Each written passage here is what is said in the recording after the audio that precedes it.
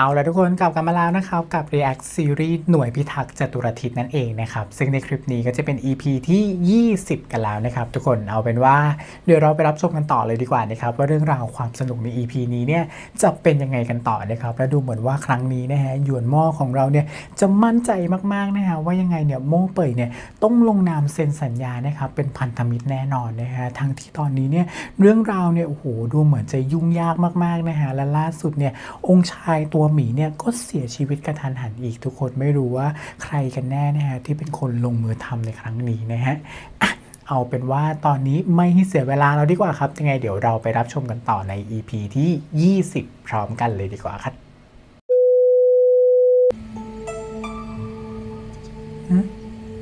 เหยียนหม้ออมเรากำลังหาอะไรอยู่ มาเหล่าตัวเนาะข้าถามหน่อยในหอเซียงหวินมีอะไร ย่าฝูหลงไง อืม ข้าหาย่าฝูหลงอยู่ ที่นี่มีย่าฝูหลงที่ไหน ที่นี่ไม่มีแน่นอน เพราะย่าฝูหลงอยู่ในสมุดบัญชี โง่หรือเปล่า ใครซื้อย่าพิษแล้วจดในสมุดบัญชี เจ้าดูสิ จริงเหรอ นี่คือราคาผักกาดขาวหลังจากเหล่าต้วนมาเป็นพ่อครัวที่นี่ นี่เป็นของเมื่อก่อน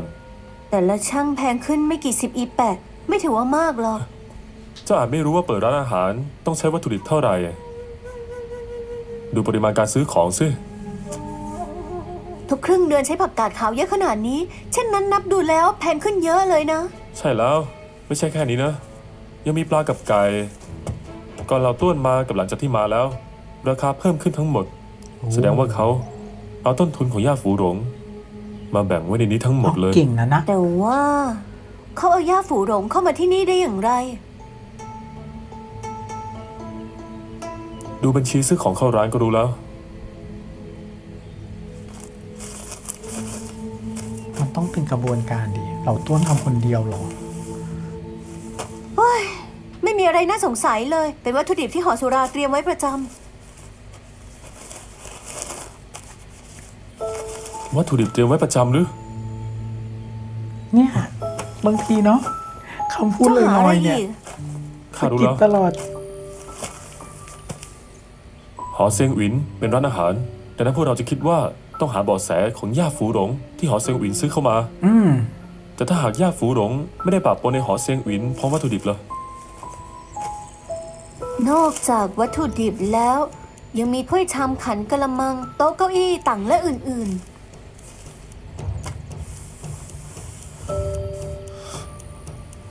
ใยบวบ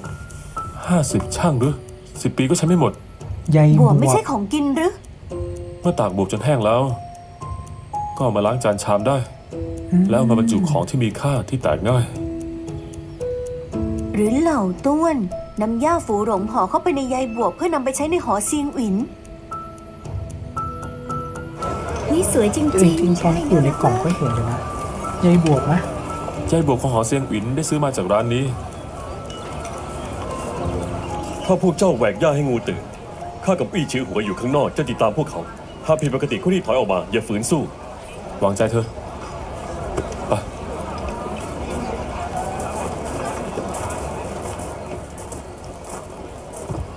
แต่งตัวเก่งจังเลยอะ สองคนนี้เนี่ยเขาตีมตลอด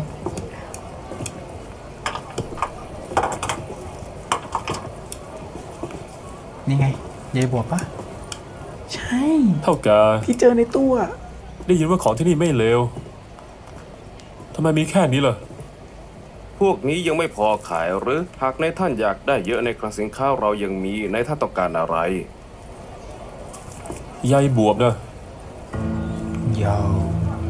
ยายที่อยู่ตรงบวบหน้าท่านใช่หมดใยบวบของพวกเราล้วนเป็นใยบวบที่มาจากเมืองเหยียนผิง คุณภาพดีมาก ดีหรือไม่ดีไม่สำคัญที่สำคัญคือ เราต้องการปริมาณมาก 50 ช่างยี่สิบห้ากิโล นายท่านต้องการเยอะอย่างนั้นเลยหรือ ของเยอะขนาดนั้นจะใช้หมดหรือ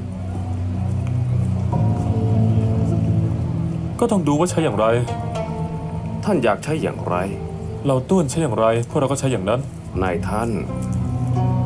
รู้จักเหล่าต้วนหรือทำไมพูดมากขนาดนี้ เหล่าต้วนเป็นคนแนะนำให้พวกเรามาอืมแต่ว่าเราต้วนเอง ไม่ได้โผล่มาหลายวันแล้ว คาดว่าครั้งก่อนซื้อมาเยอะ พอให้ใช้สักระยะ พวกเราก็อยากซื้อเยอะ ตกลงมีหรือไม่ หอเสียงหวินถูกปิดไปแล้ว เวลานี้ทั้งสองท่านยังกล้าซื้อของอีก ศาลาว่าการเมืองปิดหอเซียงหวินได้ แล้วจะปิดชนชั้นสูงเมืองฉางเล่อได้หรือ ข้ามีตา หามีแววไม่เสียมารยาทแล้วเสียมารยาทแล้ว อย่าพูดได้มากความ ไม่รู้จัก รีบตรวจสอบเลยสินค้าเถอะ ไม่รู้จักเลยเหรอ ทั้งสองท่านตามเข้ามาด้านใน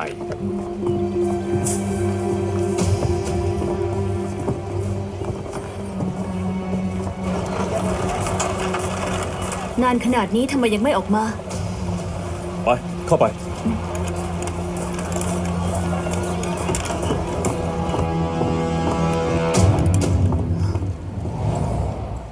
แย่แล้ว ดูสิ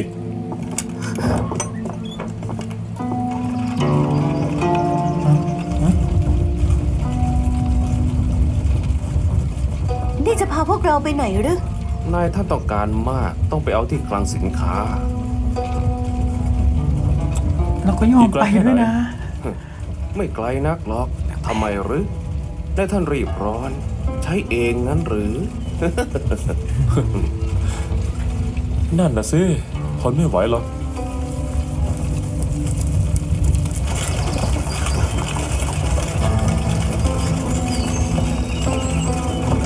เก่งอะ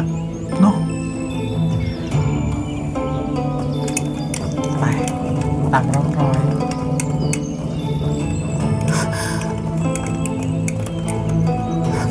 จบ หมดแล้ว ขาดหายไปแล้ว จะทำอย่างไรดี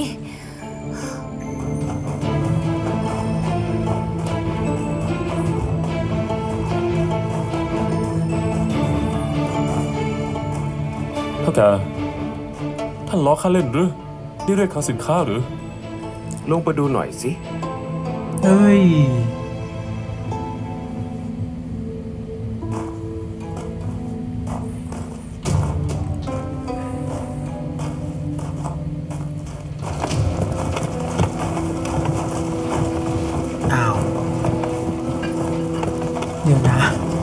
มีคนงานจริงว่ะ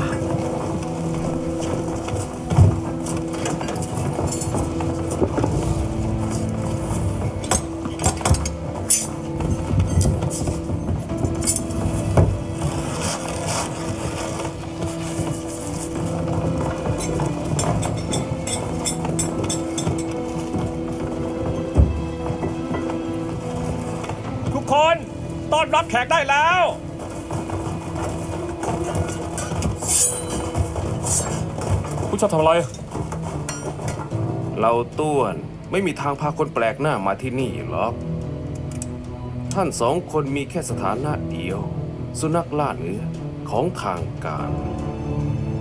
อืม อืม แต่มันก็ต้องเชื่อไงทุกคอน ย่าเข้ามานะก็ต้องมาแหละอย่าเข้ามาอย่าเข้ามาไม่ต้องกลัวข้าปกป้องเจ้าเองถอยไป สู้ใครไม่ได้เข้ามายืนว่า ไม่ต้องกลัวาสูงแผ่นดินต่ำรู้ไหมว่าพวกเราเป็นใคร ถึงได้มาล่วงเกิน เสียมารยาทแล้ว ใครหรือ หอเสียงหวินถูกปิดแล้ว พวกเราซื้อของช่วงหัวเลี้ยวหัวต่อเช่นนี้ได้ ลองใช้สมองโง่ๆของพวกเจ้าคิดดูนี่อะว่าผู้ใดกล้าเช่นนี้ฟังสำเนียงของท่าน เยลเลอร์เป็นตระกูลสูงศักดิ์ของเยียนเลอร์หรือ เจ้าฟังไม่ผิดหรอก เป๊ะ เราไม่เพียงเป็นตระกูลสูงศักดิ์แห่งเยนเลอร์ข้ายังต้องทักทายทุกคนแทนคางอุ๋นไห่ด้วย คังหวินไห่หรือว่าเรือนรับรองเยียนเลอร์จะเข้าร่วมการค้าขายย่าฝูหลงจริงหรือ เล่นใหญ่ขนาดนี้เลย นี่ถือว่าเป็นอาณาเขตของต้าหยง ก็เพราะว่านี่เป็นถิ่นของต้ายง การค้าอย่างพวกเจ้า พึ่งพาเรือนรับรองเยนเลอร์ถึงจะทำได้ง่าย ตอนอยู่ในร้านของเจ้าข้าบอกเจ้าไปแล้วว่าศาลาว่าการเมืองทำอะไรเราไม่ได้ ใครจะไปคิด ว่าพวกโจรกระจอกอย่างพวกเจ้า จะไม่รู้จักฟ้าสูงแผ่นดินต่ำใช้กำลังต่อหน้าพวกเราอืมบ้ากันไปหมดแล้วหรือฮะเร็วๆเก็บไปเก็บไป วางลงวางลงวางลงฮะต้องขอบคุณนกัอาเงสู้นะอาสู้เก่งอะ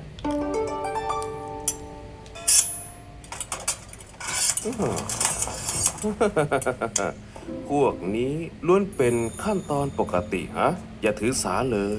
ถือว่ารู้จักกาลเทศะ ค่อยเหมือนเจรจาค้าขายหน่อย ตรวจสอบสินค้าเถอะ เชิญอ่าไปเอาละละแยกย้ายได้แล้ว ต่างคนต่างทำงานซะ ไป ผ่านแล้วสเต็ปนี้ พวกนี้เป็นสินค้าที่ขายให้เหล่าต้วนของดีแน่นอน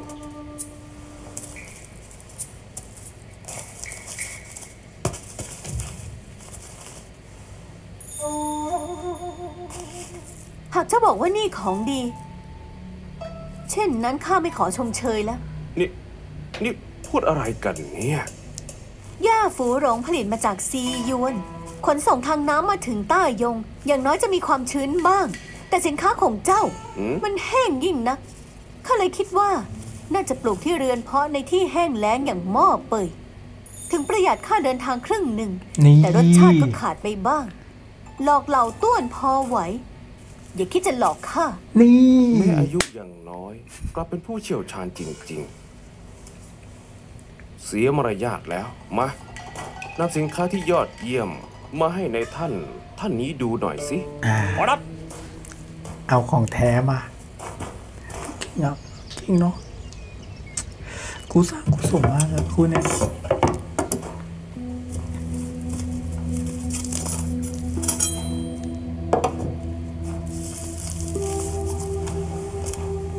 ท่านลองดู เชิญขอรับ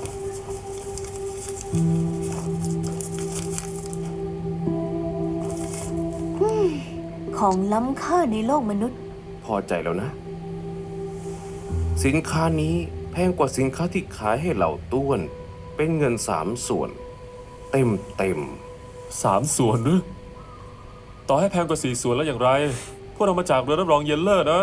เงินแค่นี้ไม่ครนามือหรอก หนึ่งร้อยตำลึงจ่ายแล้วเอาสินค้าไป เอาใส่รถให้ทันทีนี่เจะโง่หรือเปล่า ฮะเมื่อครูจะพาเรามาที่นี่โดยไม่ทันตั้งตัว เห็นพวกเราพกเงินมาได้อย่างไร ท่านวางแผนไว้อย่างไรซอซื้อสิ่งนี้แปะโป้งไม่ได้นะอ่า นั่นนั่นปล้น พวกเรามาโอ้ เพื่อตรวจสอบสินค้า เพื่อกลุยทาง เข้าใจไหมเคยเห็นคนนำเงินหนึ่งลังมากลุยทางอย่างนั้นหรือตรวจสอบสินค้าเสร็จแล้วพวกเจ้าเอาขึ้นรถแล้วออกเดินทางตอนค่ำ ข้าจะคุ้มกันรถไปประตูหลังเดินรับรองเย็นเลิกกับพวกเจ้า สินค้ามาถึงเงินก็ถึงแล้ว ข้าไม่เคยทำแบบนี้ ลองเพราะเจ้าไม่สิเคยเจอลูกค้ารายใหญ่นะสิหากรู้สึกว่ามีเงื่อนงำก็จับพวกเราเป็นตัวประกัน แบบนี้ได้ใช่หรือไม่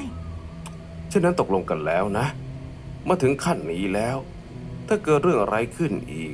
พวกท่านไม่อยู่ดีมีสุขแน่นอน เฮ้ยไม่มีทางหรอกเอาใส่รถ เอาใส่รถ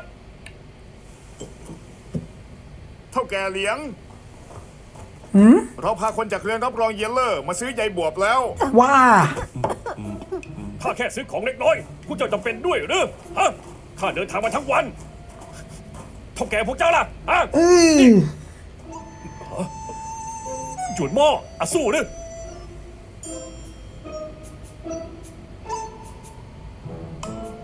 อ้าว ฮะ ฮะ ที่ปรึกษามา มาซื้อของแค่นี้ท่านต้องมาด้วยตัวเองเลยหรือเนี่ยฮะ นี่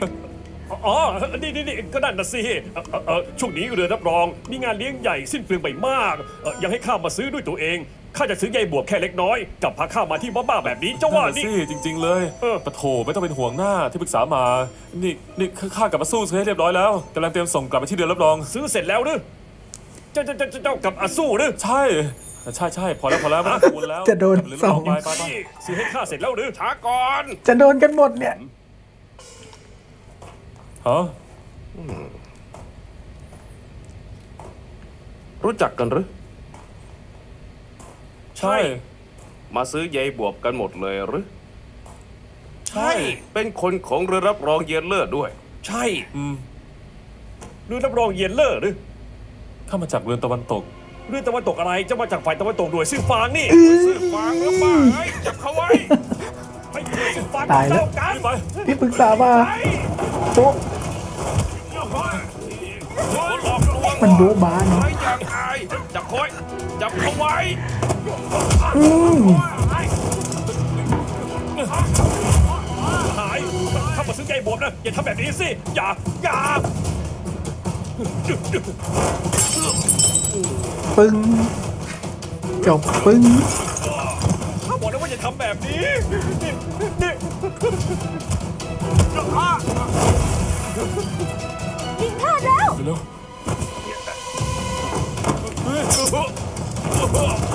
ว่าคุณอูอี้ซื้อหัวคนออกโรงแล้วนะทำไมยังไม่มาอีกเนี่ยเฮ้ยพี่ใหญ่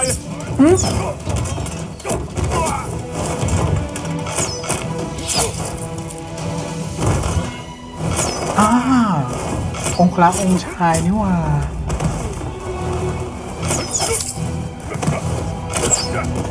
โอ้เท่อะอืมเก่งอะเข้ามาได้อย่างไรอะ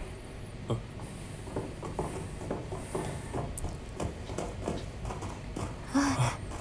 ขอบคุณเจ้านะ ขอบคุณที่เจ้าช่วยแต่ เจ้ามาได้อย่างไร เพราะว่าเขาอ้าวองค์ชายตัวหมี อาซูหเห็ยุนนไหมหม้อพวกเจ้าสองคนคิดถึงข้าหรือเราไม่บอกเจ้ายังมีชีวิตอยู่หรือ อาจจะไม่ใช่พตัววกจริเรางก็คิดได้ว่าเจ้าตายแล้วหรือ แล้วแอบร้องไห้รับหลังข้าหรือไม่ล่ะข้ากลับอยากให้เจ้าตาย เหมือนเจ้าจะไม่รู้สึกแปลกใจ ที่ข้ายังไม่ตาย แน่นอน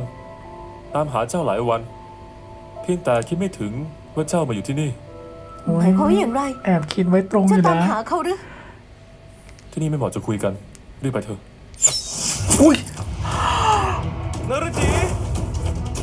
ตัวหมีระวัง คนไรหน้า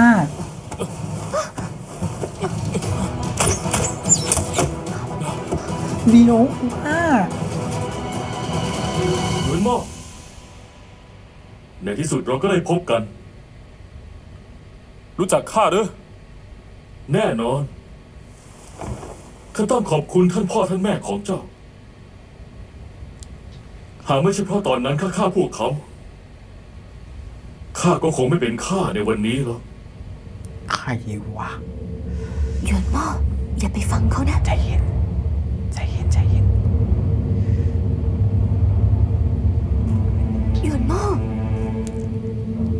ไปอีกเคอร์หยวนหม้อเขายั่วยุเจ้า แม่นางท่านนี้ทำไมถึงมีสำเนียงของเยี่ยนเล่อได้ เกี่ยวอะไรกับเจ้า เก็บนางเอาไว้ คนอื่นฆ่าทิ้งซะถอยไป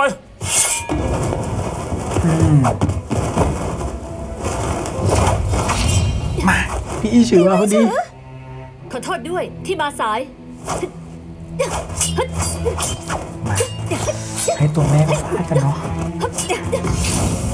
นี่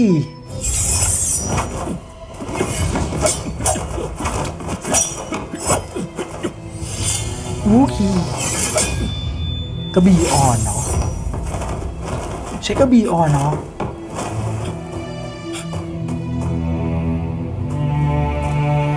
เอาแบบว่าเก่งนะนะ ใช้กระบี่อ่อนได้อะ ใช่อืม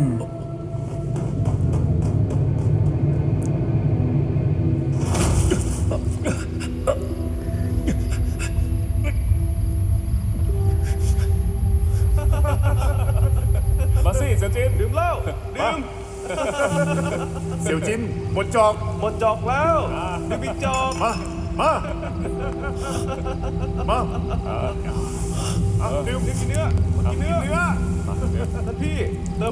สิ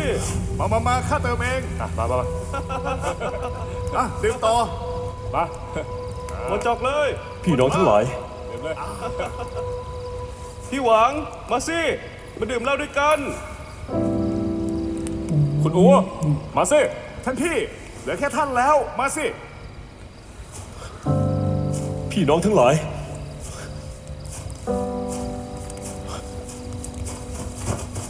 พี่หวัง พวกเจ้า ในที่สุดก็ได้เจอท่านแล้ว พวกเราคิดถึงท่านมาก ข้าก็คิดถึงพวกเจ้า คุณอูข้าแต่งงานกับซานเหนียงแล้ว ข้าแต่งงานกับซานเหนียงแล้ว ดี พี่หวังข้าสร้างความดีความชอบกลับบ้านไปปฏิบัติท่านแม่แล้ว คนในตระกูลเราไม่มีใครรังแกแม่ข้าแล้ว ดี ดี ท่านพี่ข้าเก็บเงินได้แล้ว ซื้อที่ดินมาสองหมู่ ใช้ชีวิตสุขสบายมาก ดี ดีท่านพี่ แล้วท่านล่ะ มาข้าหรือสติ สติ มา หน่วยซื้อฟังสติ ไม่ใช่ ข้าต้องกลับไปแล้ว ข้าอยู่ที่นี่ไม่ได้ ข้าต้องแก้แค้นให้พวกเจ้า ท่านพี่อยู่ต่อเถอะคุณอูอยู่ต่อเถอะ ทุกคนคิดถึงเจ้ามากนะไม่ได้ไม่ได้พี่อย่าไปเลยข้าต้องไปต่อเถอะอย่าไปเลยข้าต้องแก้แค้นให้พวกเจ้าอย่าไปเลยนะโอ้ข้าต้องไปท่านพี่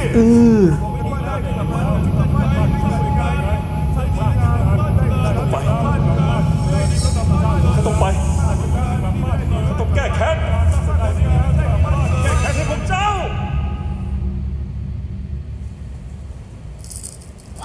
ฟื้นแล้วฟื้นแล้วฟื้นแล้ว เป็นอย่างไรบ้างนี่ออกไปอีเคอร์ล่ะ เขาหนีไปได้ ข้าก็จับนักฆ่าหญิงไม่ได้ เช่นนั้นย่าฝูหลง ให้สาราว่าการเมืองจัดการแล้ว ข้าไม่เอาไหน โอกาสดีเช่นนี้ ยังจะไปอีเคอร์ไม่ได้ จะโทษเจ้าได้อย่างไร หลังจากที่ถูกพิษข้าก็เจอเหล่าพี่น้อง พอเจอพวกเขาข้าก็เดินไปไหนไม่ได้เลย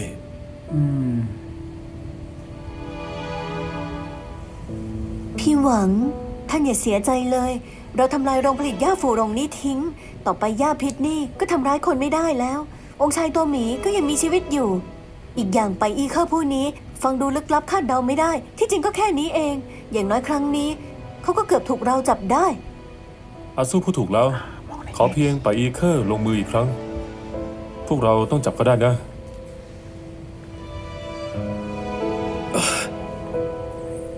ตัวหมีล่ะ เขา ไปฝังศพองครักษ์ของเขา ไม่น่าเลยเนาะ ทำไมต้องให้ตายด้วยอะ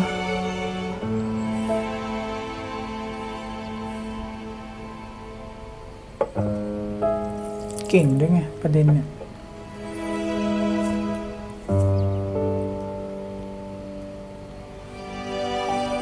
ขอบคุณที่ปกป้องมาหลายปี เหยี่ยวบนทุ่งหญ้า จะพาเจ้าหาทางกลับบ้าน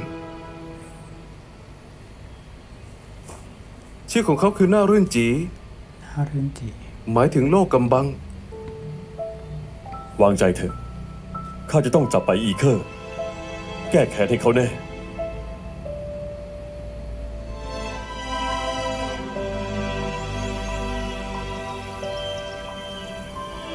เดิมทีก็อยากกินดื่มในเมืองฉางเล่อไปตลอดทั้งชีวิตเลย ไม่คิดว่าโชคชะตาจะตามทันข้า หนีไปก็ไร้ประโยชน์ สิ่งที่ควรมาก็ต้องมา ตอนเจ้าเพิ่งเจอข้าก็บอกว่าตามหาข้าจะรู้ว่าข้ายังไม่ตายหรือ แน่นอน ศพริมแม่น้ำนั่น มีนิ้วมือหนา เส้นลายมือลึก สองมือมีแต่หนังด้าน อืมเห็นได้ชัดว่าใช้แรงงานมานาน โดยเฉพาะที่หน้าแข้งคู่นั้น เส้นเลือดอย่างกับไส้เดือน ข้าเคยอ่านตำราแพทย์ประเภทนี้ อาการเช่นนี้เกิดจากความเหนื่อยล้า ตอนคนผู้นี้ยังมีชีวิตต้องยืนเป็นเวลานาน แต่องค์ชายตัวหมีของเรานั้น เป็นคนว่างงานอันดับหนึ่ง ว่างๆก็ชอบเดินเล่นไปทั่ว ลองดาวชอบออกกินดื่ม ชอบชิมอาหาร จะเป็นโรคแบบนี้ได้อย่างไร เช่นนั้นศพนั้นก็คือ ศพนั้นก็คือเหล่าต้วนฮะ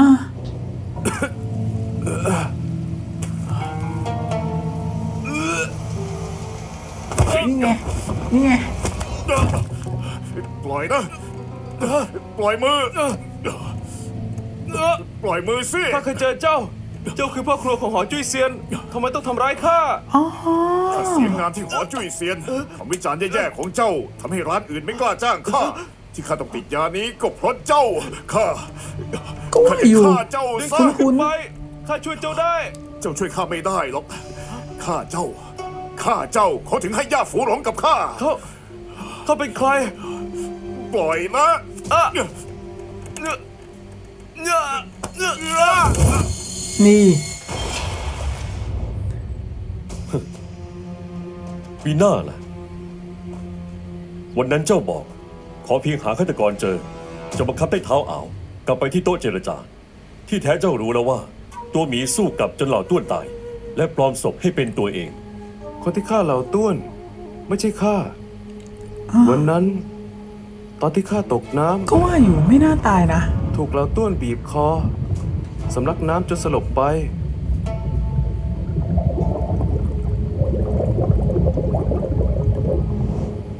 พอข้าฟื้นขึ้นมา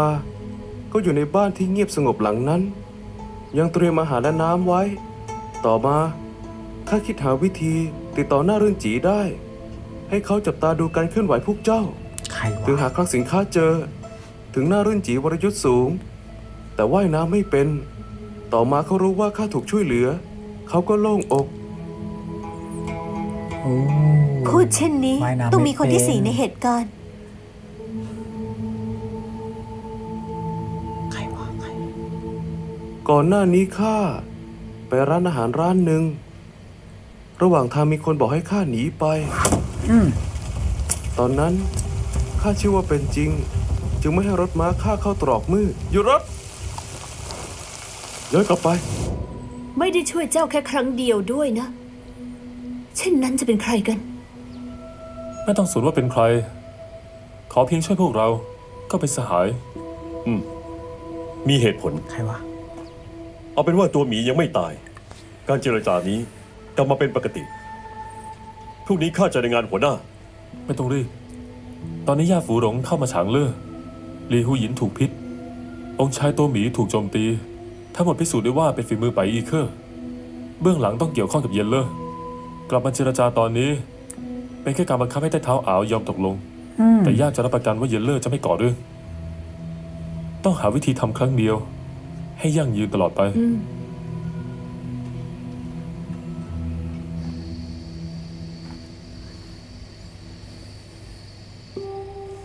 ตัวหมี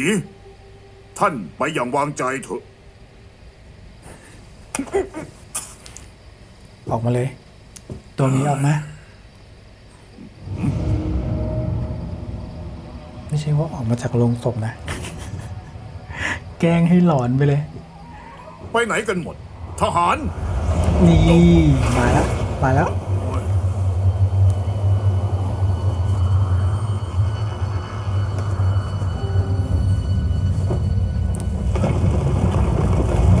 นั่นไง มันต้องอย่างนี้ จะแกล้งก็ต้องแกล้งแบบนี้ละ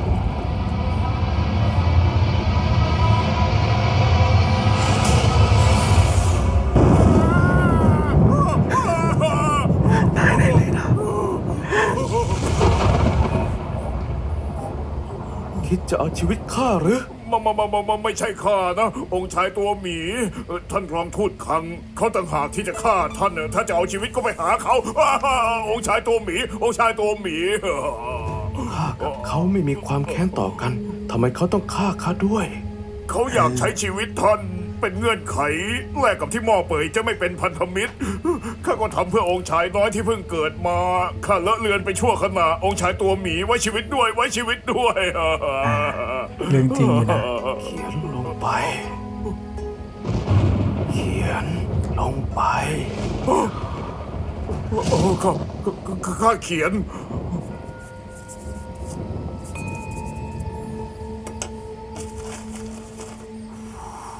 มันต้องแบบนี้เนอะคนแบบเนี้ยก็ต้องเจอแบบนี้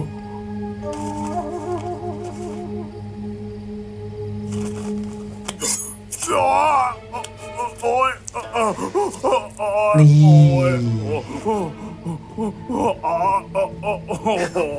สวมหน้า ไม่สงสารหรอก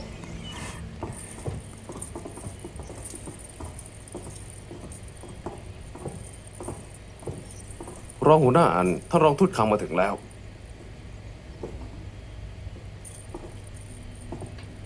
ไม่ทราบรองหัวหน้าอันเรียกข้ามา มีธุระอันใดหรือ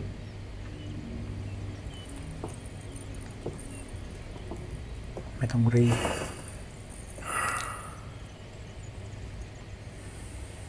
เมื่อคืนฟ้าแลบฟ้าร้อง ไม่ทราบท่านร้องทูตขังนอนหลับสบายหรือไม่ ขอบคุณที่เป็นห่วง เมื่อคืนข้านอน หลับสบายมากเลย หากข้าเป็นท่านรองทูตขังทำเรื่องผิดมโนธรรมมากมาย เกรงว่าคงนอนไม่หลับทุกคืน พูดเช่นนี้หมายความว่าอย่างไร ในอาณาเขตต้ายง ท่านกล้าจ้างคนร้ายรอบสังหารองค์ชายตัวหมีแห่งหม้อเป่ยพยายามขัดขวางต้ายงไม่ให้เป็นพันธมิตร โชคดีที่องค์ชายตัวหมีสู้จนคนร้ายตาย ถึงไม่ได้เกิดเรื่องใหญ่ ท่านยังกล้ามาเสแสร้งที่นี่อีก องค์ชายหมอบเวยอะไรกัน ข้าไม่รู้จักเลยสักนิด อีกอย่างต้ายงจะเป็นพันธมิตรได้หรือไม่ เกี่ยวอะไรกับข้าด้วยมันไส้ตรงนี้แหละไอ้ลองทูตคังเนี่ย นี่เป็นคำให้การของใต้เท้าอาวท่านจะอธิบายอย่างไร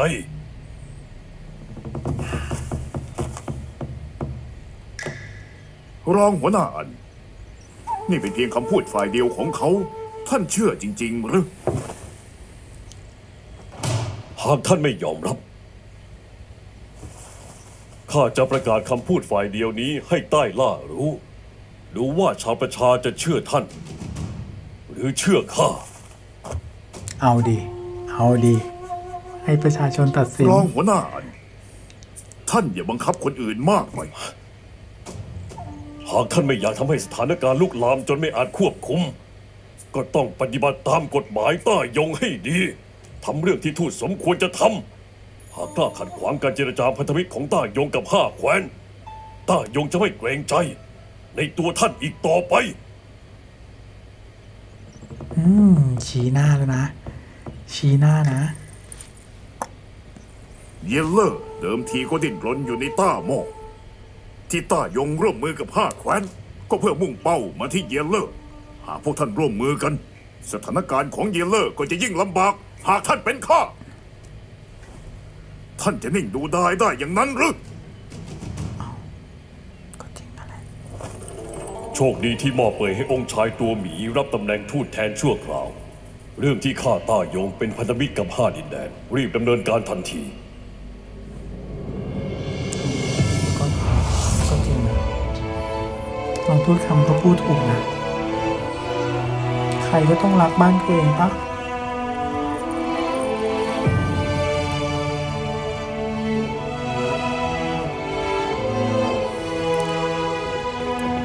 โอ้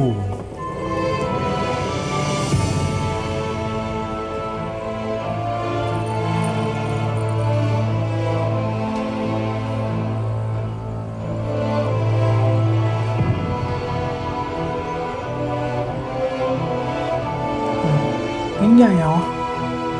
ซีนเนี้ย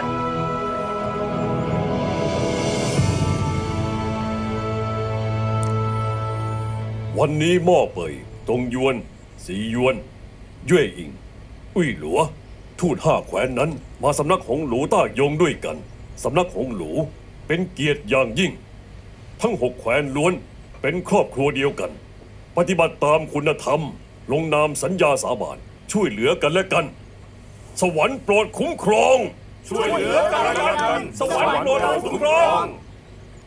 พิธีประชุมเริ่มขึ้นอย่างเป็นทางการ เชิญทูตหม้อเปยขึ้นมาได้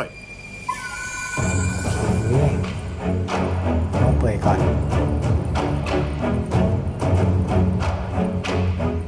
เคารพ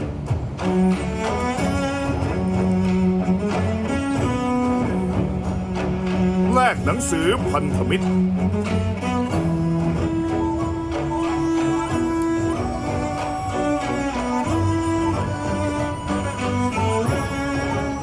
เคารพ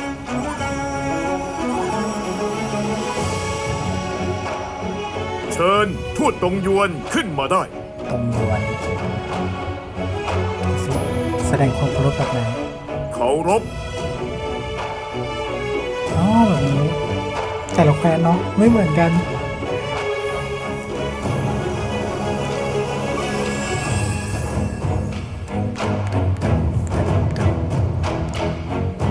เคารพ เชิญทูตซียวนขึ้นมาได้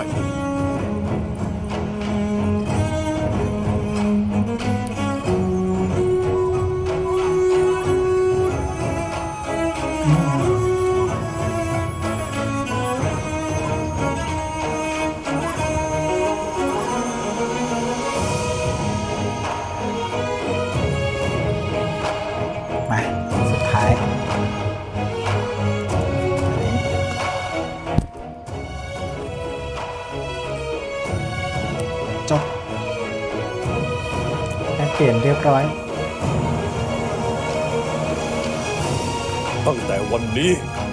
ต้ายงเรากับห้าแหวนเป็นพันธมิตรกัน เป็นสหายที่ดี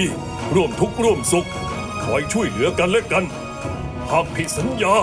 เทพเจ้าลงโทษ สวรรค์มีตาสวรรค์มีตา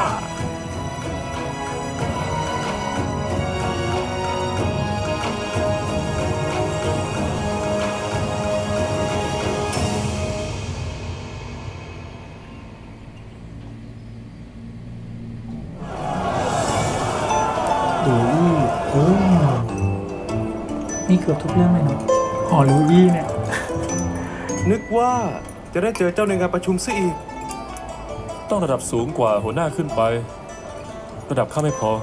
ฮ่ายเจ้าควรได้เห็นฉากที่สวยงามนั้นสักหน่อย ถึงอย่างไรพวกเจ้าก็ทำทุกอย่าง เพื่องานประชุมนี้ เนาะมีประโยคนี้ของเจ้าก็พอแล้ว นายหยุงาดนปมระองชุมเข้าไปก็ด้สำวยเร็จแล้ว องค์ชายตัวหมีก็ยังมีชีวิตควรค่าแก่การดื่มฮะ แต่ว่า Yes ครั้งนี้ไม่ใช่เพื่อฉลอง ข้าจะบอกลาพวกเจ้า ข้าจะกลับไปหม้อเป่ยแล้ว กลับหม้อเป่ยหรือ พี่ชายเจ้าจะยอมรับเจ้าหรือ ภายใต้การไกล่เกลี่ยของต้ายง ท่านพี่อนุญาตให้ข้ากลับบ้านเกิดและรับประกันความปลอดภัย เช่นนั้นทูตของหม้อเปยให้รองทูตทำหน้าที่แทน ข้าอยู่ที่ต้ายง ก็อยู่มานานพอแล้ว อาหารเลิศรสของช้างเลิศก็กินมาหมดแล้ว อีกอย่าง สตรีที่งดงามดั่งดวงดาว มีคนที่นางชอบแล้ว เอ้าฉะนั้นข้าอยู่จะมีความหมายอะไร ไม่สู้เก็บสัมภาระกลับบ้านเกิด อย่างไรเสีย ที่ที่แม่ทำสุรานมม้า ถึงจะเป็นบ้านที่แท้จริง เอ๊ะเจะเป็นคนเตือนข้าเองนะ ข้าว่า นี่ล้วนเป็นข้ออ้าง ที่จริงเจ้าอยากกลับไปทำบางอย่าง ถึงหกแคว้นเป็นพันธมิตรกัน แต่สถานการณ์ของหม้อเปยยังไม่มั่นคง เจ้ากลับไปครั้งนี้เพราะอยากใช้การประชุมพันธมิตร รวบรวมกำลัง เปลี่ยนการป้องกันเป็นโจมตี สหายหยวนเจ้าประเมินข้าสูงเกินไปข้าคนนี้นะ่ะนิสัยเอื่อยเฉยไม่ต้องการเป็นขุนนาง ไม่คิดจะแย่งตำแหน่งกับพี่ชาย เพียงแต่คิดว่าหนีมานานเกินไป มันน่าเบื่อนะ อยากเปลี่ยนวิธีใช้ชีวิตบ้าง ไม่แน่หลายปีมานี้ ใครจะไปรู้เนาะมีสิ่งที่สูญเสียมากมาย ข้าไม่อยากเป็นเช่นนี้ เอ๊ะเลิกงามยามดี ทุกคนอย่าให้สุราชั้นเลิศเสียเปล่าสิ ได้เช่นนั้นขอให้องค์ชาย สมปรารถนา หมดจอกหมดจอก Cheers ทำ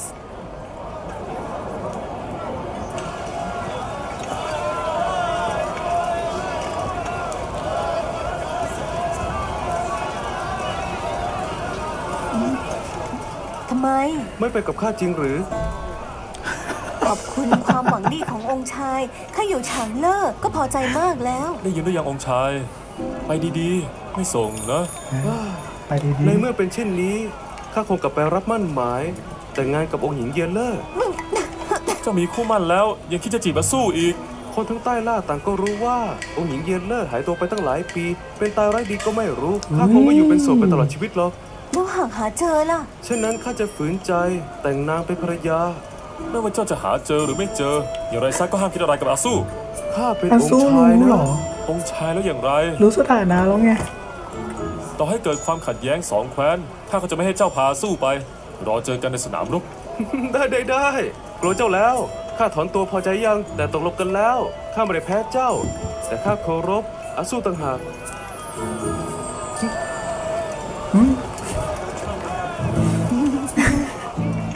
ทั้งสองคน พวกเราต้องได้พบกันอีกแน่ ไม่ต้องหรอกจากกันตลอดการไปได้ ไม่ยอมเลยวะไม่ยอมเลยเนี่ยหยวนหม้อเลยเนี่ย จะมาตัวเตาะหแฟมีนคู่นี้ถึงแม้จะน่ารำคาญ แต่ก็หล่อมากจริง เจ้าก็ไปเถอะๆ ทำไม หึงหรือเปล่าหึงชัดๆ ดูหน้าตาเจ้าเปล่าสิ สักหน่อย ใจแคบจังอะ ถ้ามั่นใจในตัวเองหรอก นี่หล่อใช่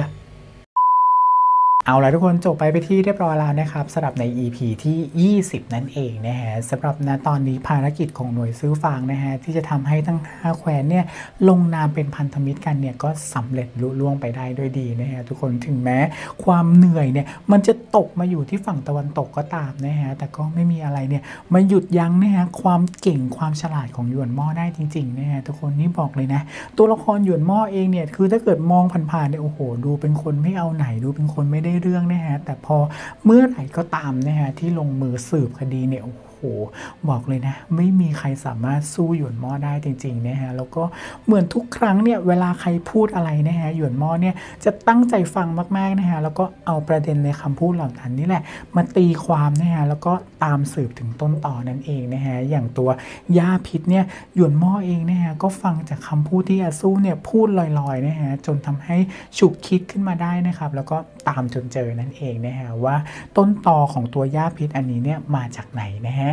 แต่ถึงแม้จะผ่านเรื่องนี้ไปได้นะฮะแต่เหตุการณ์นี้เนี่ยก็ทำให้ตัวหยวนหม้อเนี่ยได้เจอกับคนไร้หน้านะฮะหรือว่าไปอีเคอร์เป็นครั้งแรกนะฮะทุกคนและที่สำคัญเนี่ยไปอีเคอร์นะฮะก็รู้จักหยวนหม้อเป็นอย่างดีนะฮะแล้วก็พยายามพูดยั่วยุหยวนหม้อตลอดเวลานะฮะแต่ด้วยความที่หวังคุณอู๋นะฮะและพี่อีฉือเนี่ยมาช่วยไว้ได้ทันนะฮะไม่อย่างนั้นเนี่ยบอกได้เลยนะทั้งอาซูและหยวนหม้อเนี่ยไม่รอดแน่นอนนะฮะทุกคนรวมถึงตัวองค์ชายตัวหมีนะฮะที่ก่อนหน้านี้เนี่ยทุกคนเข้าใจว่าองค์ชายเนี่ยตายไปแล้วนั่นเองทุกคนแต่กลายเป็นว่า นี่มันคือแผนนะฮะที่ตัวองค์ชายเนี่ยพยายามเก็บซ่อนเอาไว้นะฮะและที่สำคัญเนี่ยยังมีอีกหนึ่งคนนะฮะที่คอยช่วยองค์ชายอยู่ตลอดเวลานะฮะซึ่งเป็นการเซฟองค์ชายถึง 2 ครั้งด้วยกันนะฮะก็อันแรกเนาะเป็นการบอกนะฮะด้วยการยิงธนูนะฮะว่าให้หนีไปนะฮะกับอีกหนึ่งคนก็คือคนที่ลงไปช่วยในน้ำนั่นเอง ทุกคนอันนี้แหละ น่าจะเป็นอีกหนึ่งคนนะฮะที่เป็นคนสำคัญมากๆนะฮะซึ่งตอนนี้ก็ยังหาไม่เจอนะฮะว่าใครกันแน่เนี่ยเป็นคนที่ช่วยองค์ชายตัวหมีนั่นเองนะฮะอาจจะมาใน EP หลังจากนี้ก็ได้ทุกคนยังไงก็รอดูกันต่อแล้วกันนะฮะว่าคนคนนี้เนี่ยจะสำคัญนะฮะอะไรกับองค์ชายตัวหมีนั่นเองนะฮะส่วนหลังจากนี้ไปนะฮะเชื่อว่าเดี๋ยวยังไงเนี่ยเราน่าจะได้เข้าใกล้นะฮะกลุ่มคนไร้หน้ามากยิ่งขึ้นนะฮะเพราะตอนนี้เนี่ยสิ่งที่เขาเองเนี่ยต้องการนะฮะก็น่าจะเป็นผู้หญิงนะฮะหรือว่าองค์หญิงแห่งเยนเลอร์นะฮะซึ่งก็ไม่ใช่ใครที่ไหนเลยทุกคนคิดว่ายังไงเนี่ยก็น่าจะเป็นอาซูแน่นอนนะฮะเพราะว่าดูจากปฏิกิริยาเนาะที่องค์ชายตัวหมีนะฮะพูดถึงองค์หญิงเยียนเลอร์เนี่ยดูแล้วเนี่ยอาซูเองเนี่ยก็น่าจะรู้ตัวนะฮะว่าตัวเองเนี่ยคือองค์หญิงหลบมานั่นเองทุกคน แต่ก็ไม่รู้นะฮะว่าหลังจากนี้ไปเนี่ยตัวตนอันนี้ของตัวอาซูเนี่ยจะโดนเปิดเผยออกมาเมื่อไหร่นะฮะเพราะอย่างที่รู้ไงว่าคนไร้หน้าเนี่ยยังไงก็จะไม่ยอมหยุดตามหาแน่นอนนะฮะแต่ว่าจะตามหาไปทำไมนี่สิ อันนี้ต้องรอดูกันต่อแล้วกันนะครับเอาเป็นว่าเดี๋ยวยังไง EP นี้จบเอาไว้เท่านี้ก่อนแล้วกันนะครับแล้วเดี๋ยวไว้มาติดตามกันต่อแล้วกันนะฮะว่าใน EP ต่อไปเนี่ยเรื่องราวความสนุกจะเป็นยังไงกันต่อนะครับ และก่อนที่เพื่อนๆจะไปกันนะฮะยังไงก็อย่าลืมช่วยกันกดไลค์กดแชร์เป็นกำลังใจให้อามด้วยนะครับ ยังไงวันนี้ไปก่อนแล้วกันนะฮะทุกคนไว้เจอกัน EP หน้านะครับบ๊ายบายครับ